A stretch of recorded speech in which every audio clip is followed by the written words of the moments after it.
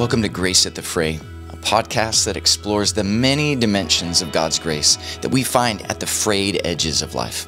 Come explore how God's grace works to renew your life and send you on mission in His kingdom.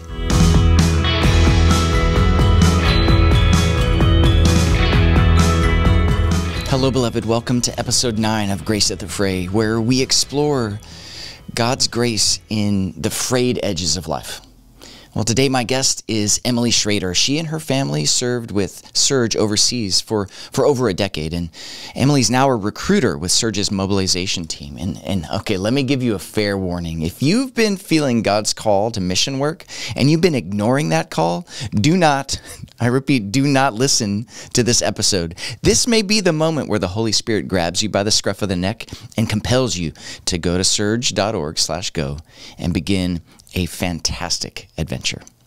Or maybe you want more out of life because you've been longing to be plucked out from under the pile of your existential crisis. And maybe you're drowning in the cultural malaise, the crisis of authority, governments and religion, all the institutions that have been letting us down since the pandemic revealed that nothing is what we thought it was. If you want more out of life, keep listening because we're going to look at that good old fashioned Great Commission and see how Jesus' authority reframes all of these existential crises, the malaise, or whatever meaninglessness you may be struggling with. Emily is a mover, and she wants to connect you with what God is doing in His kingdom. You ready? Let's go.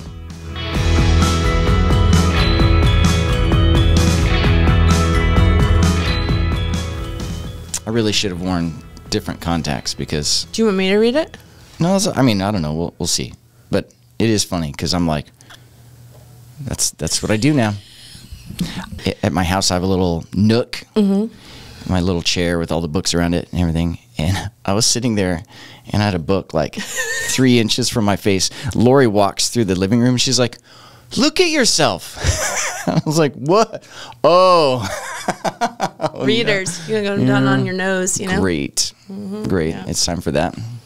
It so, is. For me too. For me too. Oh, well. So, who are you? And where are you from? What's going on? We're going to talk about the Great Commission, but I, I, I, suppose you should introduce yourself first. Yeah, my name is uh, Emily Shrader, and uh, I am currently working with our organization um, as a recruiter and in our renewal department. Uh, but before that, my husband and I were fielded um, in uh, in the secure location uh, for a long time, um, a few terms, uh, and we just came back to the states recently, um, and so now we are living uh, in North Carolina. Where my husband is a chaplain for the Air Force, and I work. I continue to work with Serge remotely, but I love it when I get to come up here. So that's good. Yeah, yeah. I love that you i mean how long have you been a re- recruiter just two years okay but i love when we start talking about these things you get that look in your eye where it's like i know why you're a recruiter yeah um, so i'm looking forward to this conversation uh, i am a little bit scared that you might recruit me it's possibility it's a possibility yeah so buckle up right. sorry lori wherever you are Where, wherever we're going to end up all, it's probably all the places that we swear we would never go. Well, that yes, well that happened to me. So there you go. right. Yeah. So what's your story? Well, our story is, um, you know, we we got married. We were both ministry minded. My husband's a pastor, ordained pastor. Um, we did some uh, inner city church ministry when we were first married. And uh, but while he was in seminary he was really moved towards international mission. And i had always kind of just grown up in the church with a heart for mission. Like but um, and it was like a bumpy road all along the way. Like we thought maybe we'd go to Southeast Asia and we went and visited and he loved it and I hated it. Oh. And it was like, you know, so we went to marriage counseling, which is what a lot of people do. Um, and then uh, we decided to chill for a bit. And then I actually took a course called Perspectives on the World Christian oh, Movement. Yeah, been there, done that. Yeah, and that, you know, wrecked me. What was know. it that wrecked you about it? Uh, statistics. Um. Um, I think for me, it was uh, one in three people in the world are Muslim, and one in 12 missionaries go to Muslims. Mm. Oh, and I was like, hmm, that doesn't seem.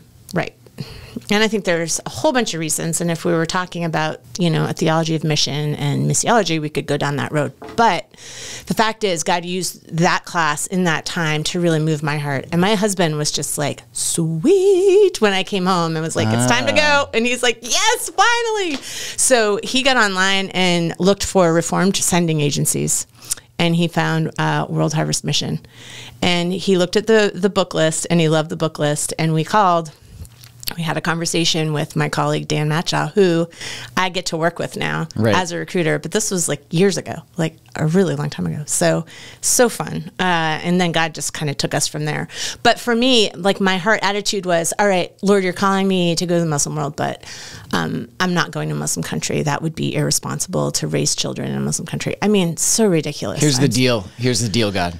Yeah, right. Yeah. Uh-huh, I'll do. I'll go this far, but no further. And so we did um, a site visit to a, a, a field that was working uh, in Europe with immigrants, uh, and uh, we went there and we thought, yeah, we could totally do this. And then we went to the actual country of the immigrants that they were working with, and like immediately when I like stepped off um, the transportation, I was like, there's no way I can do this.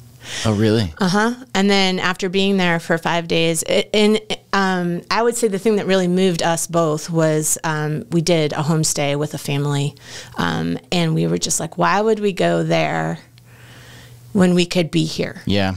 Like, why would we go there to pound the pavement when we could be here and just be among this people? You know, So you stepped off the taxi or whatever it Yeah. was, and you're like, "There's no way I could do this." You stepped back on the taxi, and you and you were And like, "There's no way I cannot do this." That's exactly it. That was exactly it. It Wow. was it was really kind of crazy. The first time when we were looking at going to Southeast Asia, and it was really a, a train wreck. So when we started looking again, there was like a little bit Yeah, of yeah, yeah. hesitancy for shy. us, like in our marriage, even like. So when people were like, "What do you want us to pray for?" We were like, "Just pray for unity. Like, don't pray that like." We're gonna come or go. Like, just pray that we agree on whatever it is. The Lord totally answered that prayer. That we both came to the realization that oh, it was here um, separately.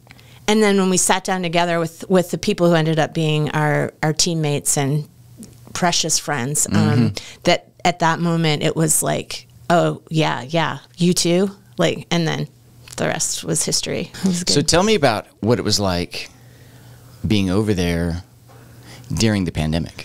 You quarantined in country. Yeah, we quarantined in Yeah. in country, and you know nobody really knew what was coming, right? Like you're getting news from China, and then you're getting news from like, oh, Italy. Italy's a real hot spot, Right. you know, and We're everyone's gonna cancel "Oh, school for a couple weeks. Yeah, right, right. Yeah, like oh, this could be this could really be a little bit disruptive, you know. And for us, I think the way that that kind of um, manifested was um, because we were in a country where schooling options got more and more limited as as our kids progressed. We chose the boarding school option for high school, Yeah. and so our oldest was actually in boarding school, and Far, um, far away in boarding school. well, a flight away. But it was always for me like there was always a little bit of a, a reassurance that like she's only a flight away. Um, and so it was coming up, you know, it was like March, right? So it was coming up on spring break, and um, our team leader called us and said, "Hey, we think you need to get your daughter home to country before things close down." And we were like, "Okay," and so we called her. Um, and she's older, high school age. So we called her and we talked to her about it. We said, "Hey, you know, this this, this could be a couple weeks." right, right. I have an I have a friend who was a nurse in January. Is a nurse in January. He was like, we were hanging out. He goes, "This is going to change the world," and I was like, "Whatever, dude." Whatever. Everybody around him was like, "Oh my gosh, conspiracy theory or whatever." No, we didn't see Sure her again until July. oh my goodness. Yeah. So, I mean, that's a long time to be separated from your adolescent kid. It Yeah. was not Oh, part. That was gosh. not part of the deal. You know, Yeah. making all these deals with God, that was not part of the deal. And not to mention just seeing things happen around us that were tragic and were really hard, and people were suffering. You know, you're. Uh, I, I hate to say this, but it's true, and it's something that has always stuck with me as someone who was in the field in a hard place. That your, you know, your blue passport can get you out of there. Oh, yeah. Yeah. like yeah, if yeah, things get really rough, there's always the eject button. You know, Right. you can always there's always that option. Where for you know people who lived there, that's not an option. Right. And then all of a sudden, that option was taken away. Ooh, that's interesting. Now we're all really the same. Now we are all really the same. Now I am truly in We're his hand. We're in it with you guys. Yeah. Let's there's do no this. yeah, there's no like I'm just I'm just going to go back to America and ride this out. Like nope, not happening. I've seen a lot of people be resentful of missionaries because they'll that they'll hold really tightly to that Yeah. as a, uh, their security, as their hope. Yeah. you know, That's so- not the hope, yeah. Yeah, and so for the Lord to to go, hey, let's let's remove that because that's Yeah. preventing a certain kind of intimacy. Oh yeah. Well, you know, not necessarily in your story, but Right. in general, this this thing where an American can have an eject button. Yeah. Yeah. We're in it with you. We're here. so what'd yeah. that do? Well, like I said, um, you know, it made me more of a praying person, especially for my daughter. Like, there's this real kind of like release of any sense of control, you know, and it, it's it's really a it's kind of a fluke anyway. Like it's we're not really in control, but Right. we have like these ideas that we're in control, Right. and that that helps us to function. And so that was taken away, and so it was like, oh no, really, I am entrusting my daughter to you, Lord, no matter what happens. Um, that was super hard. The other thing was that we celebrated Easter that year, and Easter is by far one of my favorite. It's my favorite time of year, and it's my favorite holiday. Yeah. and Happy Easter, by the way. yeah, he's risen. Truly. Right? 50 days of celebrating Easter. I'm glad we get to do that. That makes me so happy. So, yeah, so Easter, right? Easter rolls around and we're all in lockdown. And actually, Serge um, put together uh, an Easter service Oh that yeah. we all got to watch together. And I will tell you what, it we watched it and we wept. My kids, Hmm. you know, my my uh, how, gosh, how old were they then? Um, like my ten year old and my fifteen year old. We all of us were just weeping, Hmm. like just really touched by the hope that was was put out in that um, presentation. I mean, it was, and, and I got to see Scotty Smith actually, um, who was one of the speakers in that. He's a pastor down in, in Nashville. I got to go up to him after and just be like, "You just have no idea the impact that that." Whole thing. I mean, he had all sorts of musicians coming Yeah. on. So like Andrew Yeah. Peterson, like all these, and, and like my kids were like, "Oh my gosh!" Because they're like, "Hey, Serge," and Andrew Peterson, who my son loves his Wingfeather Saga. You know, he's like, "Hey, Serge, I'm just just letting you know I'm with you." You know, and my, my son was like, "Oh my gosh, I can't believe he knows that we're here!" That's like, awesome. and you know, it was yeah, it was really special. I think that there was just this this sense of of really clinging to Jesus that we hadn't really experienced before that, and and needing to hope in something like, is this ever gonna Right. stop? Are the borders ever going to open up again? You know, bringing our daughter back to the country, there was a point where we could do that, but it would have meant that she would have had to quarantine in a hotel that the government assigned to her by herself as a 16 year old. oh wow. And we were like, absolutely not. It's it's too risky. So she um, she ended up coming back to the states sooner than us, and then uh, eventually, when the borders finally, actually the day before the borders opened up, we flew out um, to go back and be reunited as a family. It was a miracle. So Wow. So in that context, out of and out of that, you became a recruiter. Yeah, you know, it's interesting as we've been talking about all this calling business, and I've been thinking and reflecting on my own story, and really what the pandemic did for a lot of us is we were, um, you know, we got kind of put in a global timeout, is what I like to say. You know, it was like everybody stay in and think about your life. Right. Yeah, like only one person can leave, you know, that Yeah, all that, that, business. It was crazy. It was. It was crazy. Um, the one thing that was interesting, I will tell this story quick. One thing that was interesting was, um, y- you know, you weren't really allowed out and about unless you were shopping. And so, what you could do is you could put a, uh, some bread in your in a bag and put it on your bike handle. And my husband, who's a pastor, would go do pastoral visits, and people would just think he was going Buying bread. buying bread, but he was actually there were some there were some serious crises that went on while we were there, and he was able to go and visit people. Like, yeah, I mean, it was That's your. that's his ticket. that was his ticket the the the bread in the in the you know shopping bag on the bike handle. Nice. Nobody stopped him. Oh, he's getting bread. That's legit. Oh, crazy. yeah. Yeah. so it was a global timeout. Yep. Everybody has to reevaluate. disruption yeah leads to reevaluating and our reevaluation uh, we were coming up on the cusp of a decision of whether or not like staying staying would have meant recommitting to building something new and it would have meant real another long-term stay and our parents are aging and our kids are starting college and um, my husband had this opportunity to uh, pursue the chaplaincy and i've always actually you know I've always had a heart for recruiting. It's kind of like in my DNA. a Oh yeah. bit. Like you start talking about it. I can't wait for this. You're you're it's already starting. Well, that, I- that twinkle in your eye. it's. I mean, I've been to. Uh, I've done some things with with our company, like before, even when we were on the field, and it's just like, yeah, let me talk to people about Yeah. this. I really love it. So, So recruit me. well, how was the pandemic for you? Well, it, interestingly enough, I was the worship director at a church, and so I I had a blast mm-hmm. making making. I mean, I learned how to film and use cameras and all that stuff. Right. So it was a it was a huge time of creativity for me. I was in you know they talk about flow. I was in a flow state that year Yeah. in the zone, uh, making uh, making worship accessible to to my people. Yeah. So it was, yeah, it was really good. I mean, I think it's a great example of of taking the thing that happened during the pandemic to you as an individual and saying like, okay, now which way am I going to go? What's my direction now? Like I've learned some things. And um and I think that we, we all if we if we sit and we really can think about it, like everybody learned some things Yeah, during the lockdown. yeah, Um, and some things that we learned were really helpful and have given, and some things we were like, oh man, um, you know, I'm afraid of dying, yeah, right? Like fear of mortality, huge. It really kicked in, didn't it? Um, you know, I, um, I actually do like being around people. Um, you know, like the people who are sworn introverts, you know, are Right, kind of right. like, oh no, wait, no, I, I could, you know, I could use some people in my life right now. You know, there's, Yes. you- there's some different Yeah. things that like we we learned about ourselves, and it's interesting like during the um, the pandemic, uh, our Go forms, which is like the form that people who are interested in what's the word I'm looking Exploring. for? Exploring. Yes, thank you. Exploring, um, going with Serge somewhere.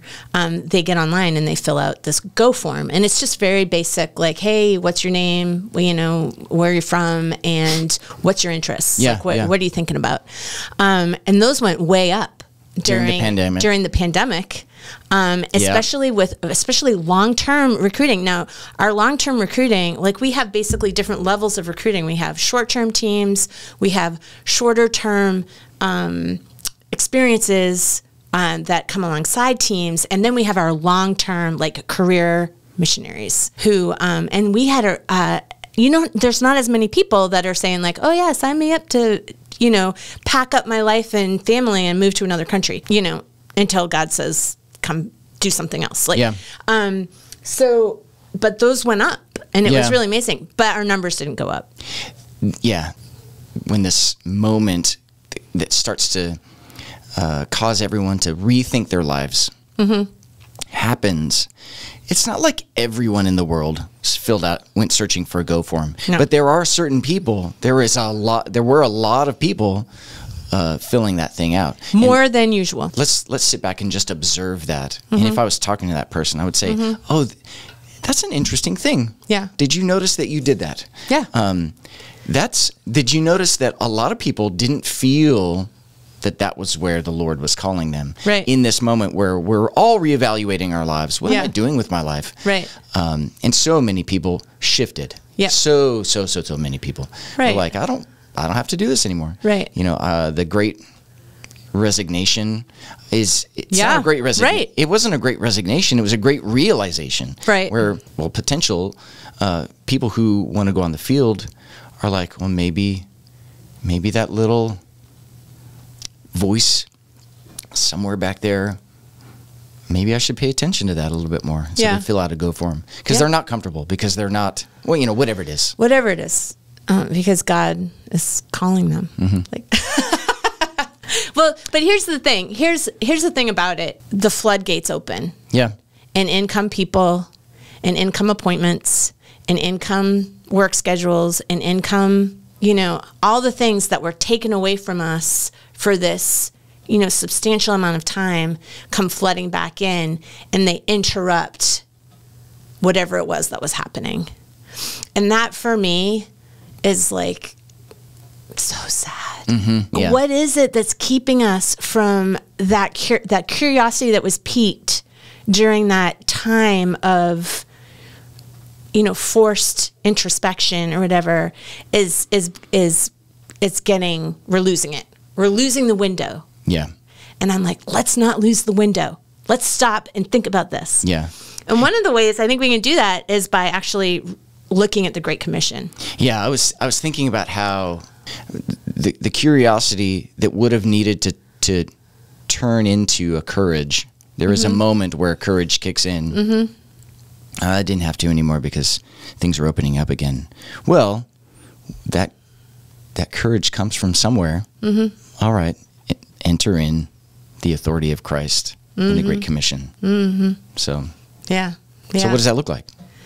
Well, it's funny because, um, you know, as a recruiter, um, you know, we think a lot as recruiters in general. And, and actually, I, I like to also say that we're mobilizers. We're not just recruiters. Like, you know, Well, it's not the recruiting team; it's the mobilization team. It is the mobilization team. Yeah. And uh, and so as I've been thinking about that, one of the things like we just talk about, you know, who we're recruiting or mobilizing and how. How do we do that and how do we connect with people? And so, you know, there's a lot of talk about Gen Z millennials gen z like this is the this is the demographic more now that we're working with and so one of the assignments that um or one of the ideas that went out there was like hey somebody rewrite the great commission for gen z right and i was like all right well i'll take a stab at Did it Did you ask G- Chat GPT to do that? no no We should totally ask Chat GPT to do that. Yeah. Okay. continue. no yeah so so i get i sit down and i'm thinking because we've done a lot of reading we've done a lot of talking and listening about who gen z is and you know what motivates them and you know mentoring and all these sorts of things right and i'm like okay rewrite the great commission and so i'm reading the great commission i'm reading it in different versions like all this kind of stuff and it just kind of hit me like you can't rewrite the great commission like it kind of says what it says Right. right Yeah. I was like, but you can think about it and you can interpret it and you can um, apply it to your life Yeah. today. Yeah. So that's the big question. How do you apply the Great Commission to a post pandemic world? Yes. Yes. How do you do that? Because I think that the switch that happens when everything started opening up again is that um, people became more risk averse. They were kind. It's like a it's like a baby, right? You have like this baby, and this baby is like out of its swaddle, and it's it's just kind of like kicking, and it's and it's looking around, and it's like it's it's, and then all of a sudden, like the swaddle comes back, and you you know you pop a pacifier in, and it's like, oh yeah, I'm comfy, I like Yeah, this, yeah. but maybe it doesn't learn to crawl as fast. like he maybe doesn't turn over like as soon. Like there's this idea of like, no, let's try not to let go of what was happening in our hearts. Let's not be lulled back into this sense of of security and comfort that comes from what we know.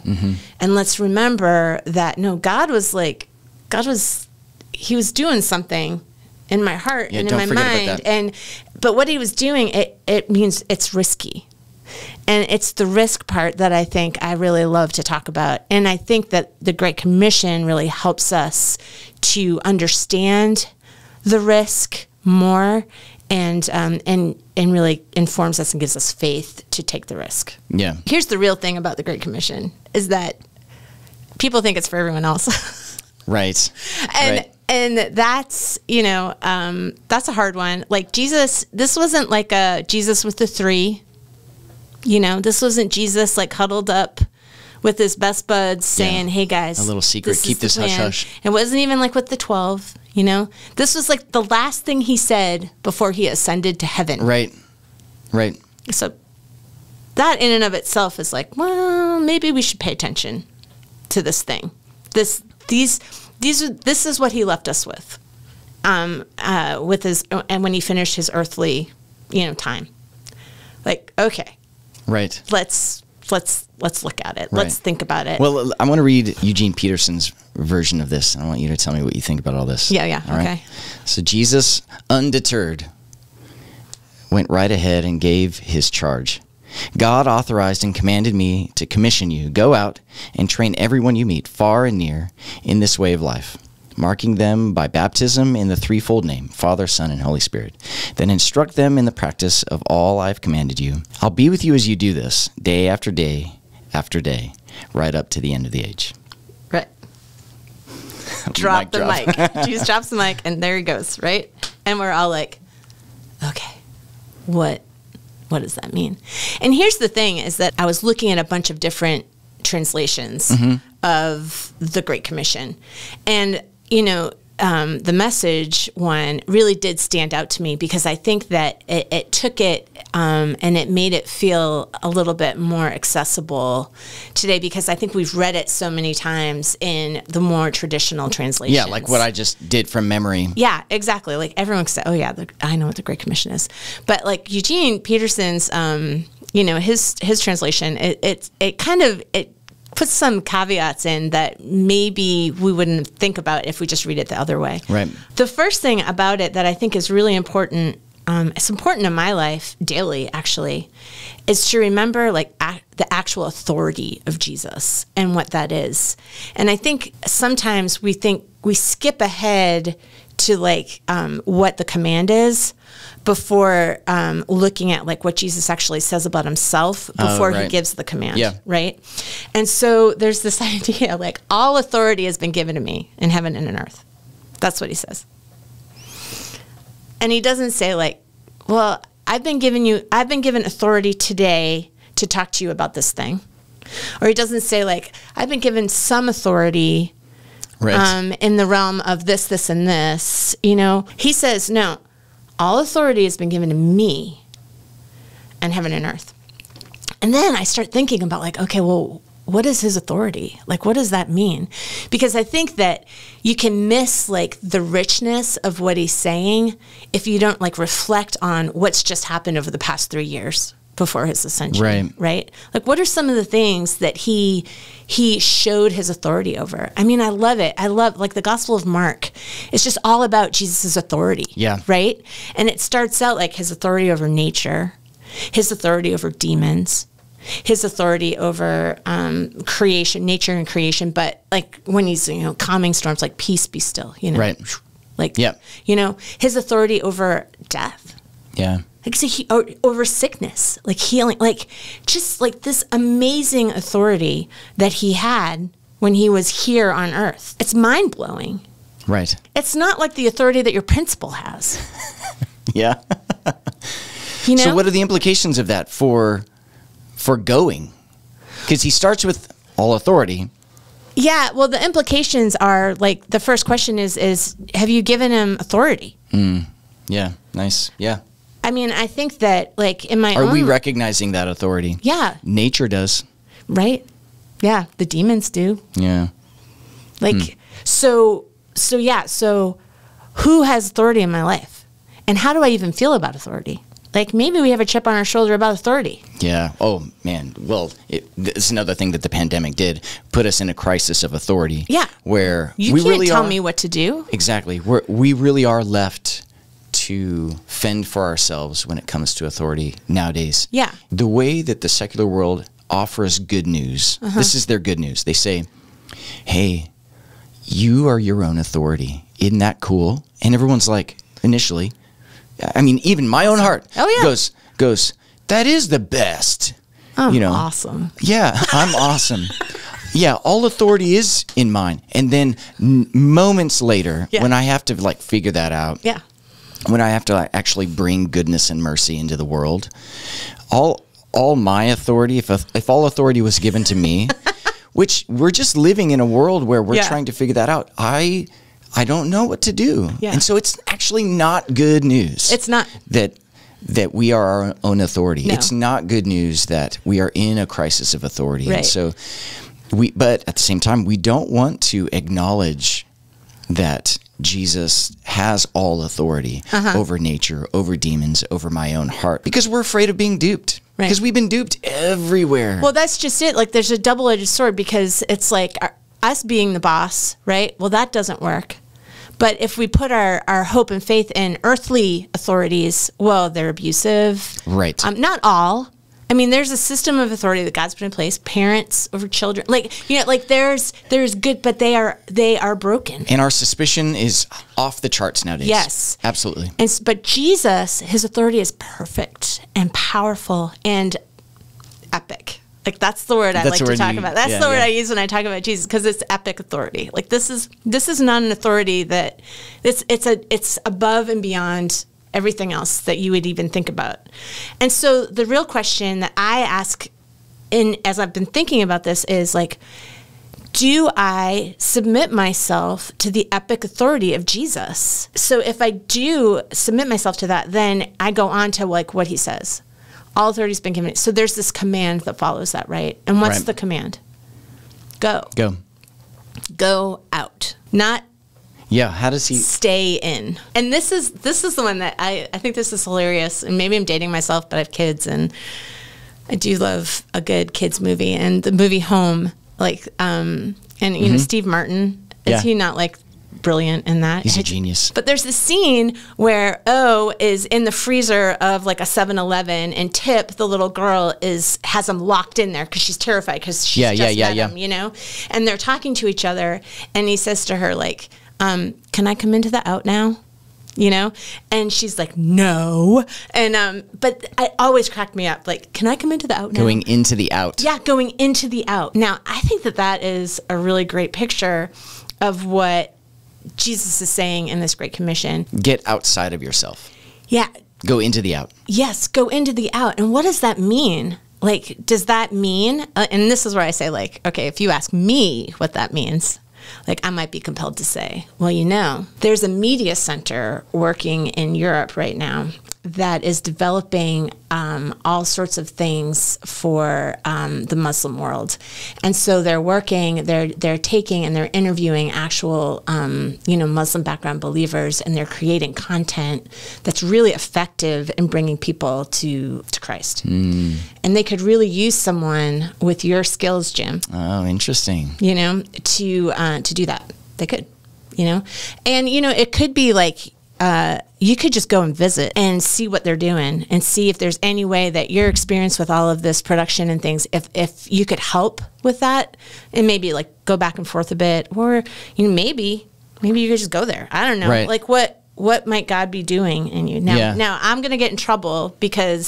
Serge has asked you to do this podcast. So, well, what prevents me from doing the podcast over there, right? Right, well, exactly. see, And there you that's what we can thank the pandemic for that too, right? Because yeah. I work in North Carolina now. Exactly. And like, there's, there's Exactly. lots of good things that came and and that's one of a thousand opportunities Oh. that you get to see and so mobilizing means you see a need you see an opportunity and you see uh, someone who has gotten the nudge Mm-hmm. and and because of the authority of Christ has been given enough courage to follow him Mm-hmm. into the next step of hey so what what could that look like yeah. you know Yeah. oh you know i'm scared but Right. you know Well, scared and courage kind of go together Well, yeah. I mean, you can't, yeah, you don't have one without the other. Why do you need courage if something's not scary? Right. like, or if something's not risky, you would need courage. And so there's this idea as you keep reading uh, the Great Commission, you know, he says to go out. And, you know, for, uh, like I said, you know, for some of us, that might mean going out into the world into the the world like to the nations. Um, for some people it might mean like go out of your dorm room okay? Go out of of your um, your office. Go out um, of your front door. Yeah go out of your phone. Go oh no you're meddling. Oh. right? no, I, I, yeah, okay, yeah, yeah. No, seriously. I mean, maybe that one. Yeah, yeah, No, yeah, yeah. I'm serious. Like, absolutely, go out of your phone, but but move. Mm-hmm. You know, move and move with the intent of bringing the light of Jesus with you wherever you're going. And you know, he's specific to say it's it's baptizing and it's teaching people His way. And so, just to say, like, that's that's the command, and that is like, go and be an ambassador for Jesus. Yeah. But this authority piece, like we have to come back around to it because here's the kicker. And it's that, like, and how does he end this command? He says, I'll be with you. Right. And I'll be with you as you do this day after day after day. Yeah. Right? So good. It is so good. Yeah. Like, this isn't just a command for one big, it's not an epic command for an epic moment.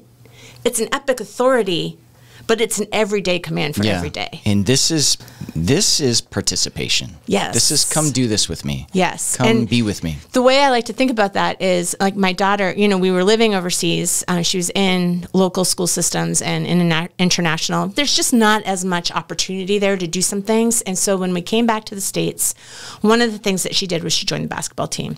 Never played basketball in her life. She started playing and she really hated games because games were just so stressful.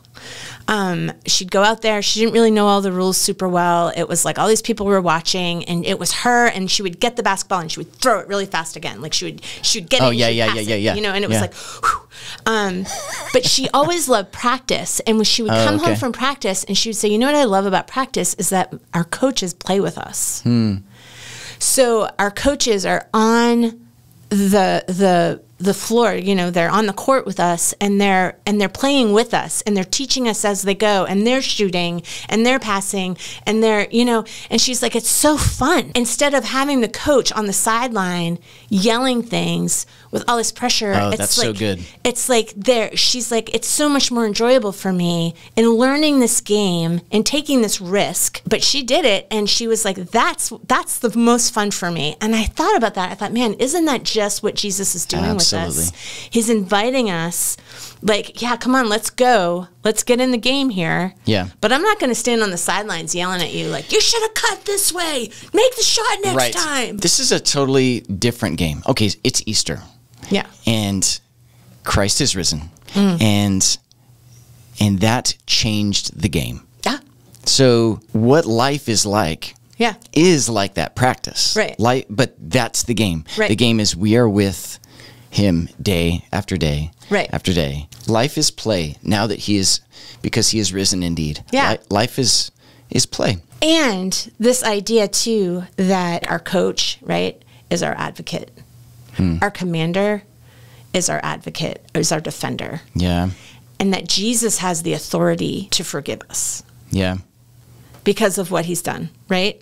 And so now we don't just we don't have to go in with this fear of failure yeah.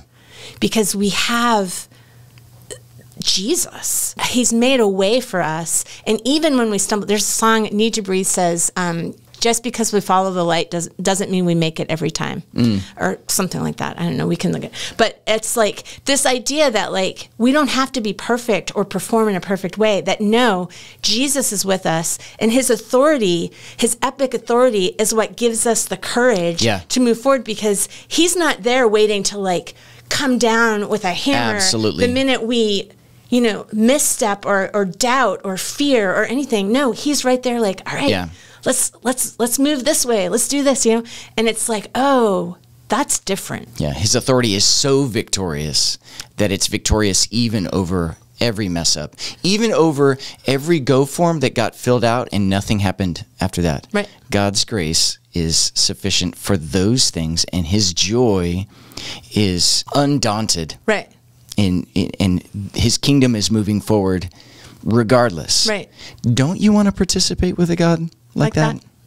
that? yeah yes So what are what are some of the opportunities that you see? for us with us Well, yeah, yeah, with with Serge, with Yeah. What are some of the things that you see? You, I mean, you already said uh, what's happening in Europe with a media team, which is you you just, you just went like Bink, you know, and you just threw that out there. well you told me Uh, to recruit you Well, it's you're doing a good job. oh thank you Um, um, So, but what are some of the other opportunities? Some of those go forms those people might be listening or watching. Yeah. And it may just be like a, a quick reminder hey, here's an opportunity. Yeah. What's happening? What is, what's the state of the world right now? That's a great question. Um, and it's, it's important. It's an important question because, and we're going to come full circle now back to the pandemic, right? Because what we've realized, and you know, statistics speak to my heart. Numbers really can move people, but uh, the reality is, is that the poorer, the poor got poorer because of the pandemic. And so basically, the poorest parts of the world are within the 1040 window, which is also the most unreached Right. parts of the world. They are um, really needy right now. Phys- like Physically, yeah. physically needy. Um, you know, the daily wage earners during the pandemic that couldn't leave their home to go to work, Right. then no longer got paid, couldn't pay for food or medical or things. I mean, and you know, people face that in America too. So I don't want to be like painting this grim picture, but there is a reality that they didn't have the same kind of relief that was offered or um, Yeah. the same kind of systems. Yeah. And you're just showing all, the other outs that Yeah. people could go out to. Right. That's know? right. So I think that one mistake that people make is that they don't have like what it takes to be a missionary. Mm. So it's like, well, they're like doctors or missionaries or, or pastors or maybe counselors or things like that. But one of the things that is so exciting um, and especially when you're talking about secure fields, um, which is what I in particular um, do the mobilization for, is that there's a lot of creative things going on. There's a lot of creative access, businesses, um, entrepreneurial kinds Right. of things. You know, a lot of people assume that there has to be like this amazing giftedness that puts Yeah. them there, whereas Yeah. you know sometimes we just need we need hands and feet Mm-hmm. um, to come and help and work alongside people. Um, you know, we've got cafes all around the world that are doing amazing things, to, uh, bringing people, um, I mean, specifically women, sometimes children, out of the sex trade, right? And teaching them a skill by, you know, teaching them how to, to bake, make pastries and then, you know, coffee. And so there's this whole thing where there's this platform, but we still need people to help run the coffee shops Right. too. Like there's Right. an there's an element of of both. You know, you're doing discipleship, but you're also sweeping a floor. So I think that um, that's one thing that I would say is really important to remember. Um, that you know, if if you feel led in your heart to go to the nations, um, there's a place for you. Yeah, and it's it's funny because we do have this this expectation. Uh, I remember when I when I went on the field, I had that very expectation that it was that it was uh, just kind of the next level in my professional super Christian development. Yeah. you know, Yeah. and it's like no, that is It that's not how this works. It keeps so many people from stepping out and being light in places that really just need transformative lives living among them. Like it's, yeah, it's pretty amazing. Um, Yeah. What your influence as just a believer, you know, to think about some of these places. Like I used to think about this where I lived, that you know, you go into a neighborhood and be like, I wonder if the name, if anyone has ever prayed in the name of Jesus on this street before. We're going to do it right now. Absolutely, You know, we're gonna we're gonna pray in the name of Jesus, and then we won't have to wonder. yeah, yeah. Thinking uh, thinking about going into the out Yeah, is is for me living in suburban Philadelphia. My son's on a soccer team. Has anyone ever prayed for those people mm. on that soccer team? yeah, Has anyone ever prayed for the the people in my my daughter's gymnastics coach? yeah, sure. You know, and what priestly role that functions and, and what the Lord chooses to do with that Yeah, is not up to me. All I, all I see is here's an opportunity. I'm in someone's life. Uh-huh. They're in my life. yeah, Well, I'm going to offer them up up to Jesus and I'm going to say, you know, let your kingdom come here. yeah, And and in his authority, he uh-huh. chooses to do whatever it is that he wants to do with it. But if if I'm not trying to go out of myself, yeah, then I'm missing out yeah. on s- participating. Yeah. And the going out, I mean the going out, the action like like you just said like in your example of like praying for people, like what is what happens to your heart when you start praying for people? well, you start loving those people. Right. You know, like God, the God changes you by his spirit. He changes the way you see people when you when you start inviting him because that's what we're doing, right? We're inviting him in Right. to this relationship when we start praying. Like that's what it is. Yep. And so you're like, "Oh yeah. Oh, I'm not just you're not just looking at the soccer team like Jim sees the soccer team. Now you're looking at the soccer team like God sees the soccer team, and that's going to change your view of the soccer team, Right. right? And Right. it's going to give you hopefully like a level of compassion and and heart to actually now move even from prayer to like doing something Yeah. like moving towards something like inviting somebody out for a beer or or you know going and and you know uh, hosting the party at your house or, Right. you know Right. like that there's like there's all of a sudden you're doing things that that maybe you wouldn't have even crossed your mind And and it's funny because those little things they do take courage. They do take faith. Absolutely. It would be easy to stay in, um, but not very fun. Yeah. And that could be the extrovert in me saying that. But I think just in general, like at this point in time, God has been so good and so gracious to us that we see the benefits of going into the out. Not just for the soccer team or for, you know, the nations, but what going into the out does to us. Absolutely. Like this is not his economy is not limited. Like so he called like one of the things that I would say is like he called us to the field, right? And I was like, Oh yeah, we're going to the field, we're gonna do great things for the kingdom, you know, this is gonna be awesome, you know? And then I was like, I had no idea that he was taking me there for that place and those people to, work change me. you. And he changed Yeah. me. And then uh, now I'm here and I'm like in, in a place that's familiar yet not Right. and I am and and it thinks it's familiar with me, but it's not because I'm not the same person that I was when, you know, when I left to go to the mission field. And now I'm here and there's a whole new interaction that needs to take place. There's a whole new mobilization that needs to happen in my life. Yeah. You know, back back on the ground. All the while, Jesus' authority remains epic, Yes. and the invitation to participate that is constant and joyful. Oh. You know, that's it's- why I think that you're so good at this. Oh, well, I appreciate you're you're kind to say that, and yeah, I just I think that you know the epic authority. Uh, just thinking about him returning, it's not going to be on a donkey. Right. That there is an element of awe and wonder and power that's going to be displayed, but even still, like, and then it, just to to sit just like sitting face to face with him at the same time that there's this this epicness and then this personalness about him that he is on the field with me on the court with me however we want to say it Yeah. um it's beautiful Yeah, my, my pastoral mentor uh, used to imagine Jesus grabbing him by the temples, grabbing him by, Uh-huh. and pulling him yep nose to nose, forehead to forehead, and that kind of intimacy. Uh-huh. Yeah. Where it's like, we're in this together. Oh, yeah. Don't forget. Yeah. All authority has been given to me, oh. but we're in this together. Yeah. Okay? Yeah. Are you ready to go do something crazy with me? The world thinks this is crazy, but you're with me. yeah yeah Let's go. yeah yeah oh for sure yeah Anyway. that's great I feel like maybe you should give one last pitch to all those folks who filled out a go form. What's the nudge? You don't have to look directly into the camera like a like a Uncle Sam kind of. Uh, We want you. Yeah, it's Yeah, not yeah, that. no, no, it's no. uh, it's no because Jesus doesn't do that. No. It's it's he grabs you by by the head and he pulls you forehead to forehead. Yeah, yeah. And he goes, right "I want you to come with me here." Yeah. Wherever it is. I think the encouragement would be like, hey, if there was a rumble, hmm.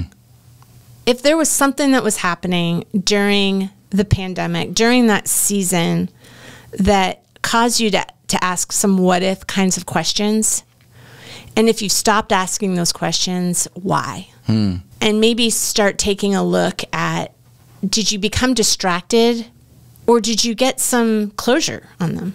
Like maybe you got an answer and that's okay. Like, what if we moved to, you know, Europe and started working with immigrants? Like, what would that look like? Yeah. Is that a possibility? And maybe something happened or came along that was like, well, no, actually, not right now. But if you didn't get that kind of closure and it just got hmm. pushed or squeezed out, I would say stand firm. Um, r- repent. Yeah, yeah. Turn, turn around, and go back to that question.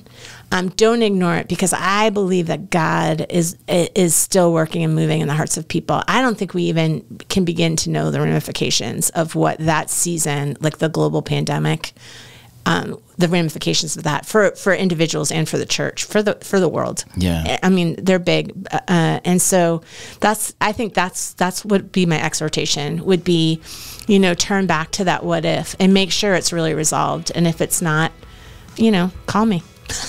Yeah, that's so good. The Lord bless you in your mobilizing. Oh, thank you love it. so much, Jim. it. Thank I you so much for it. coming by. Yeah, yeah, it's good to talk. All right, ChatGPT. Oh, yeah. We're going to do a Gen Z 28, 18 through 20. It'll do it. Yo, fam, listen up. Jesus came through with some fire words before he bounced up to heaven. He said, I got mad clout in heaven and on earth. What? Where, where am I? Go and make homies. Uh, So I'm passing the torch to y'all. Go and make homies from all the nations, baptizing them in the name of the Father, Son, and Holy Spirit, and teach them to keep it keep it a hundred. I don't know what that one is. My daughter needs to teach me that one. I don't know that one. Keep it a hundred with everything I've taught you, and don't even trip, because I'll be with you every step of the way, even if you can't see me. So go out there, spread love and truth, and let's change the game together. Oh my gosh. I had no idea. yeah. Oh, it's glorious. No cap.